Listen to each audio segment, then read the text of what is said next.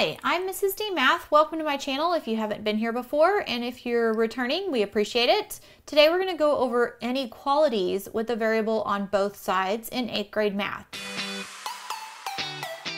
So when I have inequalities with variables on both sides, I'm going to have to write and solve the inequality very similar to an equation, but I want to pay attention to the words so that my inequality sign is the correct one.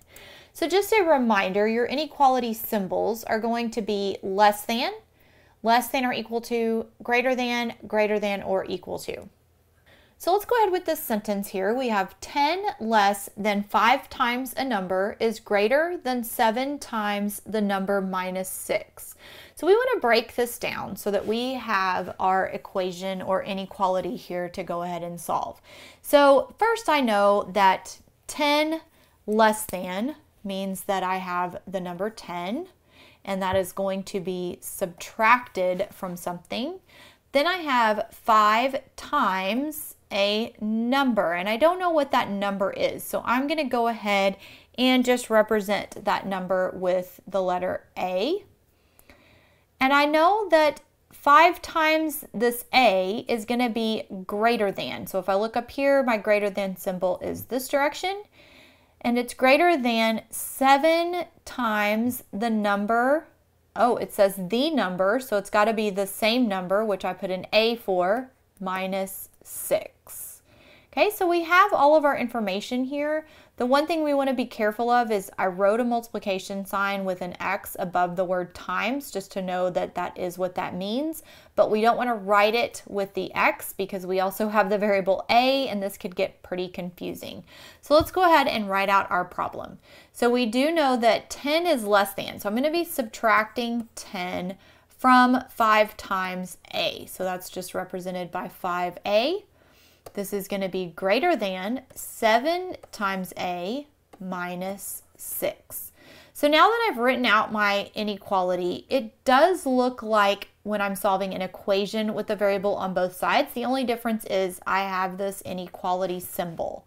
Now, if you remember from probably 6th and 7th grade, in order for this inequality symbol to be pointing in the direction you want to graph it, we would like for our variables to be on the left side. So I'm going to go ahead and always move my constants to the right and my variables to the left. So that means I'm going to first get rid of this minus 10 and move it to the right side. In order to get rid of minus 10, or subtracting 10, I'm going to do the opposite and add 10, but I have to do that opposite or inverse operation on both sides. So I'm going to add 10 to the other side. So now this negative 10 and a positive 10 make 0. I'm left with 5a is greater than 7a plus, because 10 is larger than 6, and I'm going to subtract those because they're opposite signs, so that's 4. Now I want to move this 7a to the left side. So in order to do that, the opposite of 7a is negative 7a. So I do have to subtract that from both sides. So now this equals 0. On this side, I'm left with 4. And I know that that is less than 5a minus 7a, which is now a negative 2a. So just a reminder here, because we haven't really done inequalities in a while, if you multiply or divide by a negative, you have to flip the inequality. So here in our next step, and I'm going to go ahead and write this over here, negative 2a is greater than 4. I'm going to be dividing both sides by a negative. That means that my inequality sign is going to flip. So this, I'm left with a, and 4 divided by negative 2 is a negative 2. So therefore, a is less than negative 2 in order to make this a true statement. So since a is less than negative 2, I'm going to pick a number less than negative 2 in order to test out and make sure that this works. So I'm just going to plug in to my original equation a negative 3 because I know that is less than negative 2.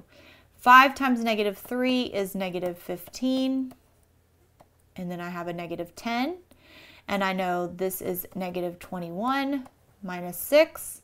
So here I have a negative 25 on this side and a negative 27 on this side. And I know negative 25 is greater than negative 27, so this checks out. Now let's try one more example where we are going to have a word problem that's going to help us figure out our equation. The temperature in Dallas is 74 degrees Fahrenheit and increasing 2 degrees per hour. In Houston, it is 68 degrees Fahrenheit and rising 4 degrees Fahrenheit per hour. How long does it take the temperature in Houston to exceed the Dallas temperature? So let's see if we can break this down a little bit. I know that 74 degrees is a constant temperature and it is increasing, which is adding 2 degrees per hour. So that's going to be times a variable. I'm going to put an H there for hour. In Houston, 68 degrees is our constant and it is also rising, which is increasing. So that's plus 4 degrees per hour. Again, we're going to put the same variable. Now, they want to know how long does it take for the temperature in Houston to exceed the Dallas temperature. So we want to make sure that we write this in a way that we have the correct inequality. So I'm going to start with my 2x or 2h to go with my letters plus 74 and that is for Dallas and then in Houston I have 68 degrees plus 4 degrees per hour that's in Houston I want to know when Houston is going to exceed the Dallas temperature. So when is the Houston temperature going to be greater than the Dallas temperature? All right, so let's go ahead and figure out here what we need to do first. And again, I want to go ahead and move my variables to the left. So I'm going to move my constants to the right. So I'm going to start with my 74. I'm going to subtract 74 from both sides. That's going to go away. So I'm left with 2h is less than 4h.